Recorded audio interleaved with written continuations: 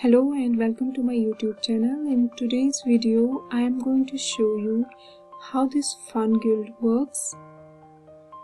This is a website where you need to go. So let's quickly start by reading these instructions prior to the installation of this pipeline. In order to install this pipeline, you need to copy this code like this paste it in your VirtualBox run this command.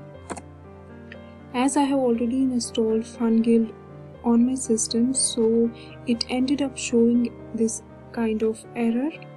In order to see whether you have correctly installed FunGuild on your system uh, you need to run a command. I will show you here. This is the command copy it and run it here.